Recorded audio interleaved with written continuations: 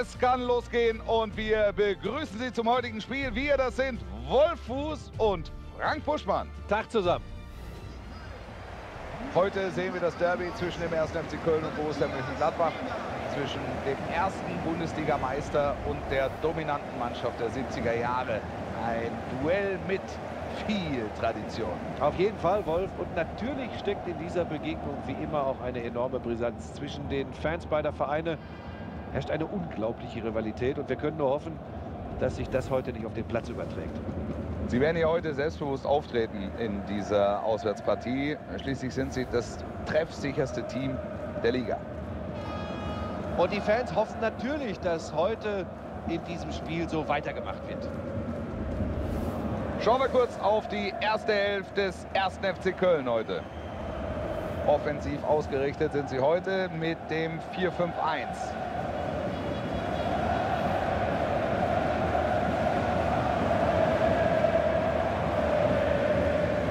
Das ist die Startaufstellung der Gladbacher heute. Sie wollen in dieser Partie mit einem klassischen 4-4-2 zum Erfolg kommen.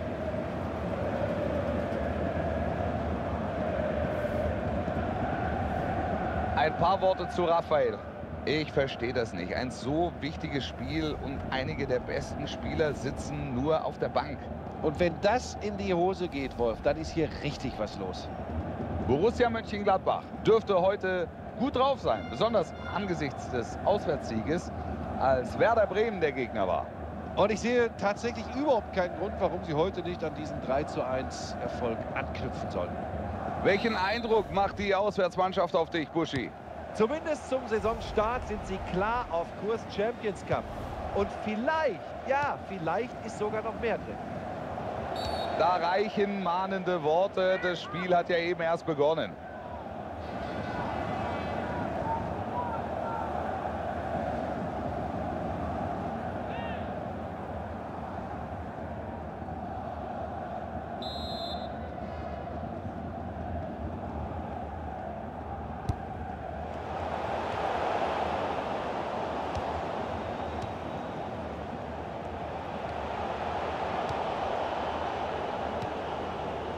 Stindl.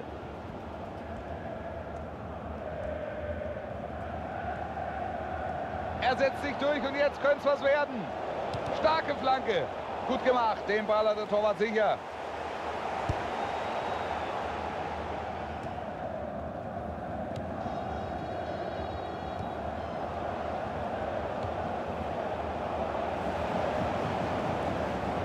Fällt jetzt das Tor. Keine gute Flanke, einfach zu halten. Und jetzt die Unterbrechung. Da liegt noch ein Spieler auf dem Boden. Das könnte was Schlimmeres sein.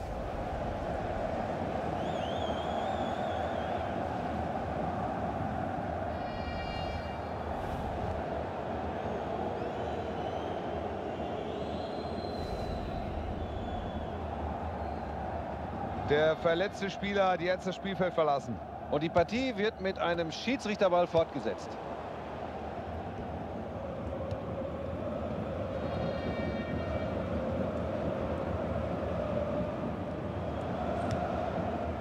Janik Gerhardt.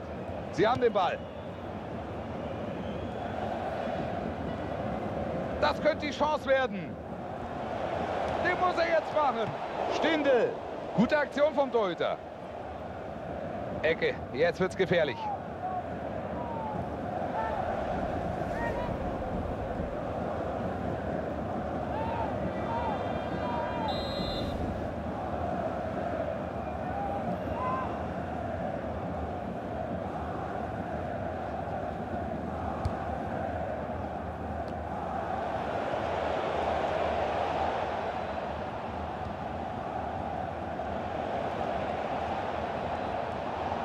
André Hahn. Da ist er aufmerksam. Gut vom Torwart. Da war er noch dran und es gibt Eckball.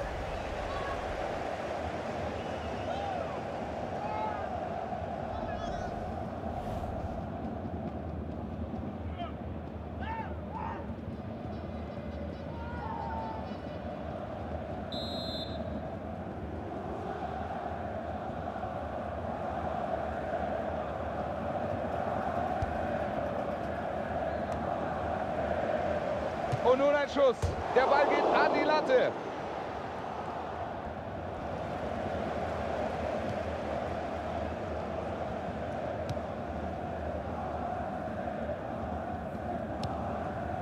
Lehmann.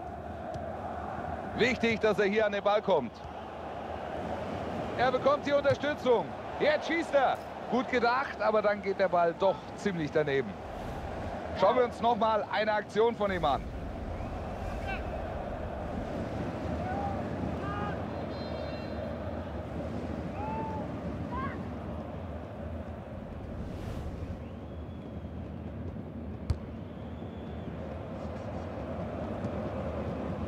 Janik Gerhardt.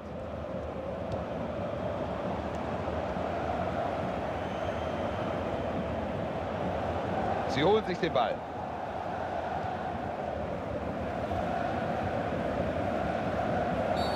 Da pfeift der Schiedsrichter und hier muss er auch Freistoß geben. David Alaba ist zu Juventus Turin gewechselt und verlässt Bayern München. Ach, ganz ehrlich, ich freue mich unglaublich für ihn. Ich glaube tatsächlich, der Wechsel wird ihm richtig gut tun.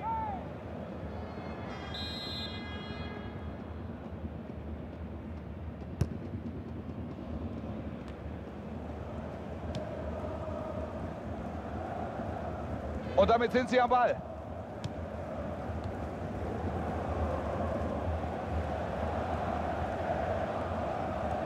Super durchgesetzt. Da kommt der Schuss. Sehr gut gemacht vom Torhüter.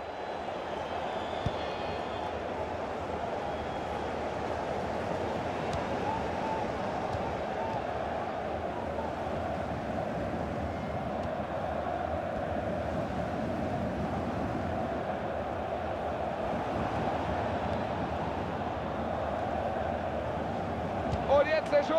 Und so wird das nix. Den hält der Torwart natürlich.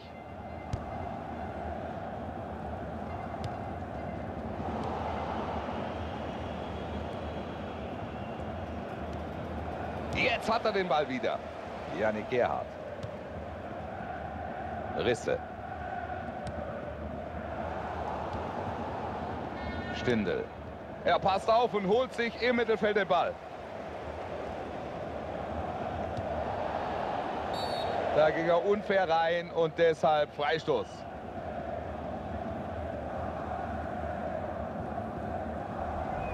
Rutscht er ihm aber ziemlich rein. Da kann er sich über die Entscheidung des Unparteiischen nicht beschweren. Der Schiedsrichter wertet dieses Einsteigen, diese Grätsche richtig.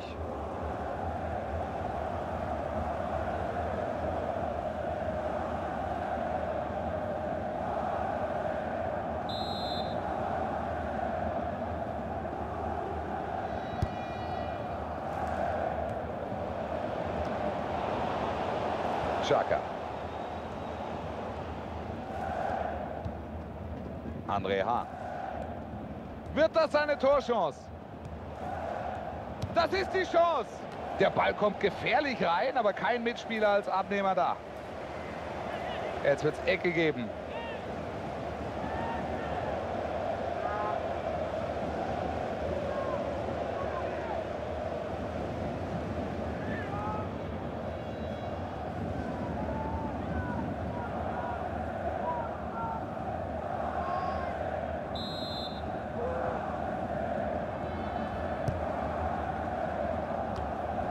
Ball hält er gut. Wie der Ecke. Mal sehen, was sie daraus machen.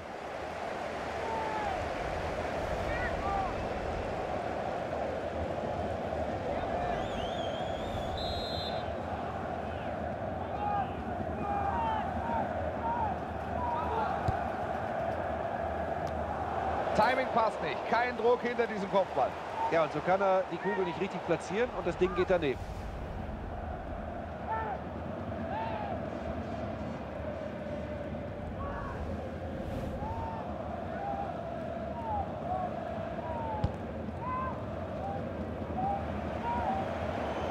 Ganz klar, das war Handspiel. Gut gesehen vom Schiedsrichter. Er hätte auf Leihbasis wechseln können, aber das Angebot hat er abgelehnt. Ja, das kann ja nur heißen, dass er hier nochmal angreifen will. Wir werden sehen, ob das eine kluge Entscheidung war.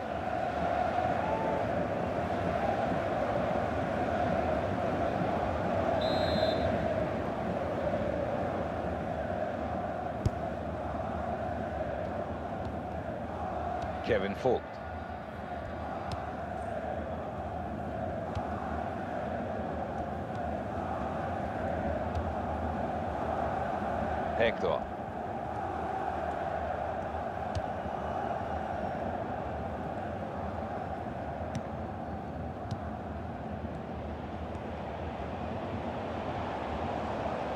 Kommt der Schuss. Der geht daneben und da haben doch ein paar Meter gefehlt. Bald heißt es also wieder Bundesliga-Fußball für den 1. FC Köln. Dann geht es auswärts gegen Hertha BSC. Da sind wir natürlich mit von der Partie, ist doch klar.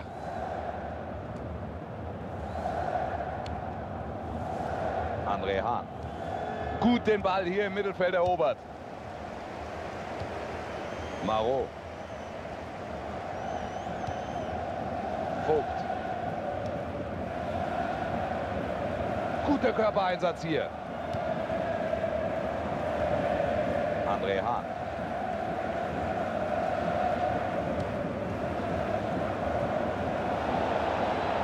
Das müsste es sein. Und da haben wir es, das Tor. Das Tor wird nicht gegeben. Und das zu Recht, es war abseits. Schau noch mal mit drauf, Buschi. Ja, spätestens hier zu sehen. Auf Abseits zu entscheiden war völlig richtig.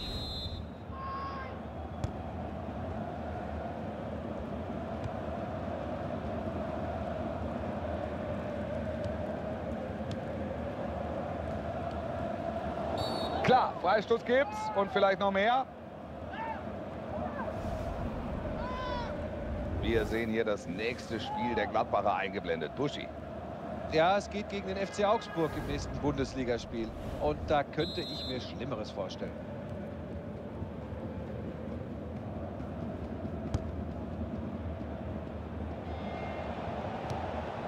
Nordfight.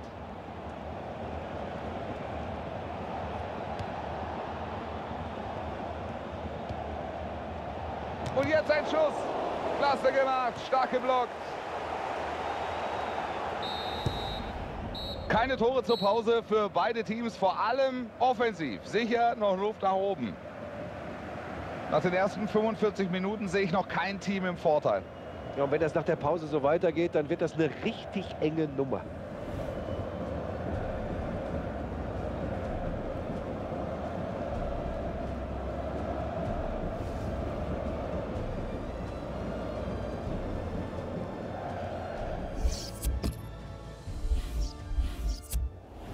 Gleich wird hier ausgewechselt.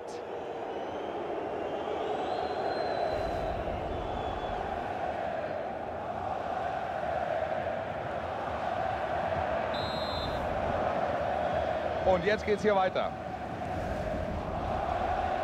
Jetzt wird es gefährlich. Branimir Gotha. Super Einsatz vom Torhüter. Gute Aktion, gut geklärt.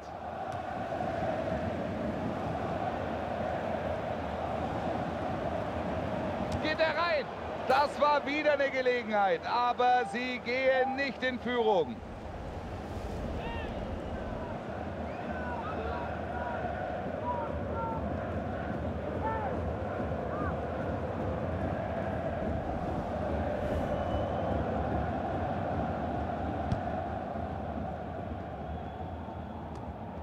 Janik Gerhardt.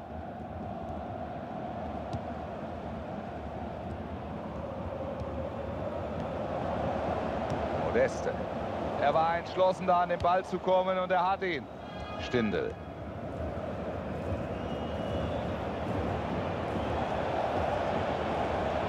Der Ball kommt.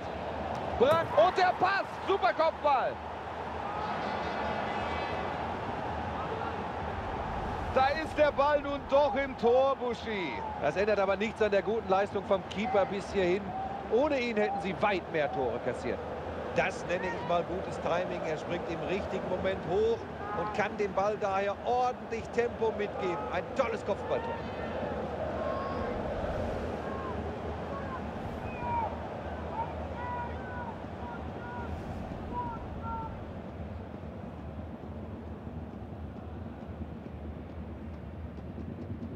Ein bisschen hat es ja gedauert, aber jetzt können wir in der zweiten Hälfte den ersten Treffer der Partie verzeichnen. Gleich gibt es eine Auswechslung bei der Heimmannschaft. Anthony Modest. Gutes Tackling, gute Zweikampfführung. Stindel.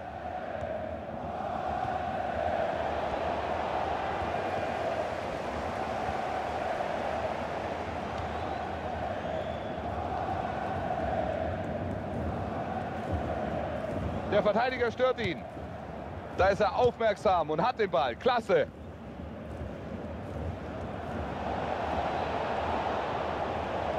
Tolle Flanke. Starke Flanke. Den klärt er gut. Der Ball geht ins Aus und damit die Chance auf ein weiteres Tor. So, das war's für ihn. Der Trainer nimmt ihn aus der Partie und gönnt ihm den Beifall. Und das völlig zu Recht. Er hat heute wirklich eine klasse Leistung gezeigt.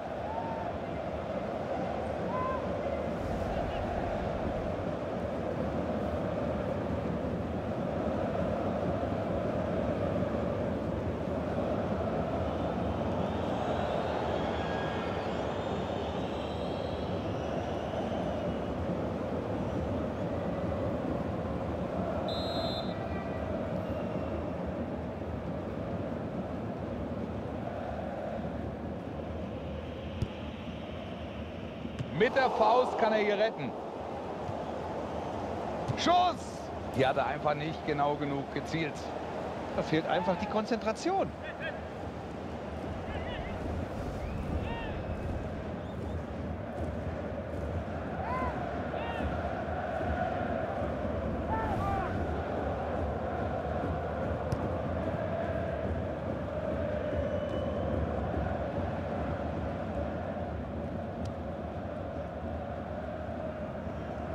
Jetzt geht es mit einem Einwurf weiter.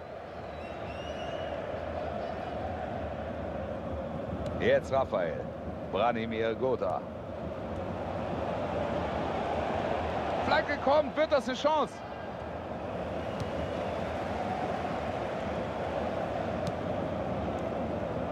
Risse.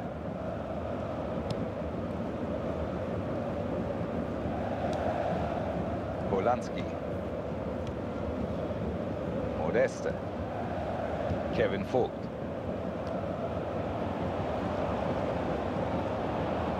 Da bekommt er Unterstützung. Das war eine richtig gute Möglichkeit, aber jetzt der Ballverlust. Er ist frei, da kann was draus werden. Raphael. André Hahn. Und die Flanke kann er nicht richtig verwerten.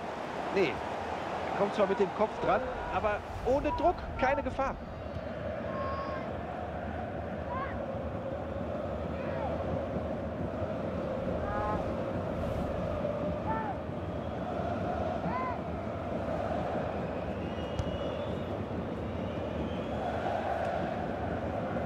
Polanski.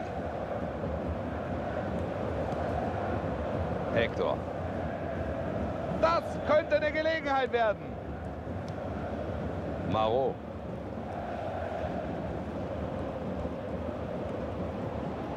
Jetzt sind sie am Ball.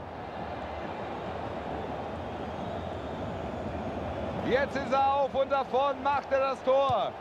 Das André Hahn. Er macht das Tor. Klasse Kopfball. Da hat er das Auge für den Mitspieler und dann ist es für den natürlich auch leicht. Und da gab es natürlich auch nichts zu halten. Da kann er richtig Druck hinter den Ball bringen. Klasse Kopfball. Und der Ball geht rein. Ich würde sagen, ohne Abwehrchance für den Torwart.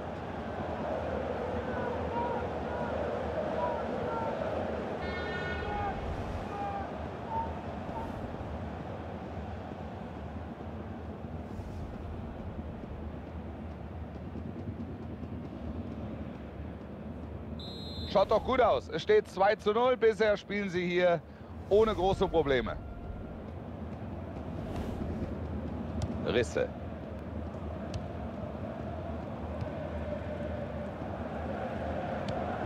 Schöner Pass. Und nun ein Schuss.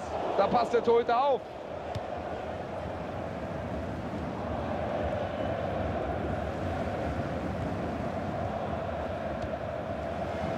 Raphael.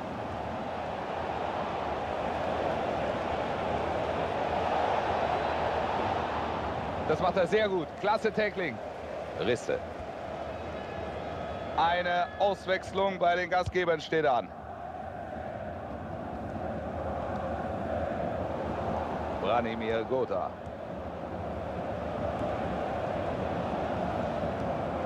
Den Ball holt er gut verteidigt.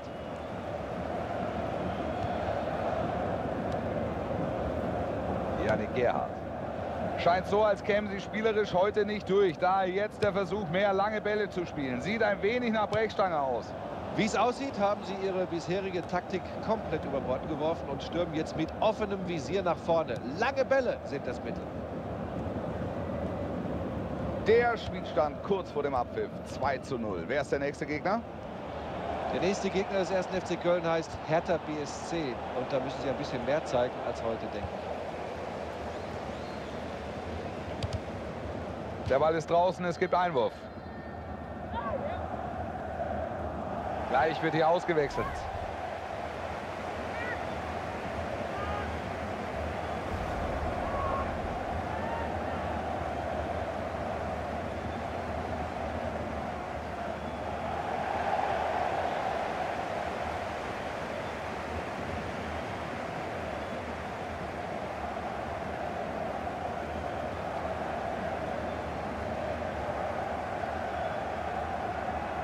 Polanski. Olkowski. Svento. Gefährliche Flanke. Er schießt. Den hält er super. Sie versuchen alles. Jetzt geht sogar der Torhüter mit nach vorne bei der Ecke.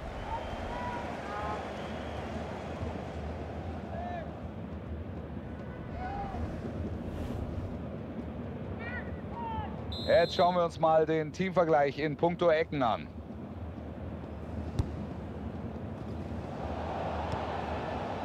Branimir Gotha.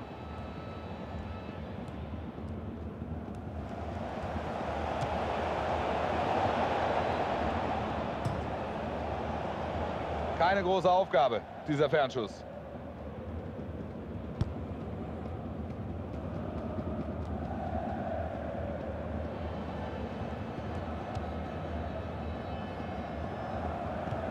Er findet den Mitspieler. Geht er rein? Die kann er einfach. Diese Schüsse aus der Distanz. Hier hat dann aber zum Torerfolg doch noch was gefehlt.